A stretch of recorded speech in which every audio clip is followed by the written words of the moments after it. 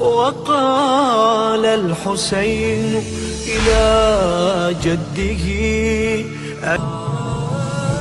أسلم يا جد كل الأمور إلى الله راض بأقسى القضاء.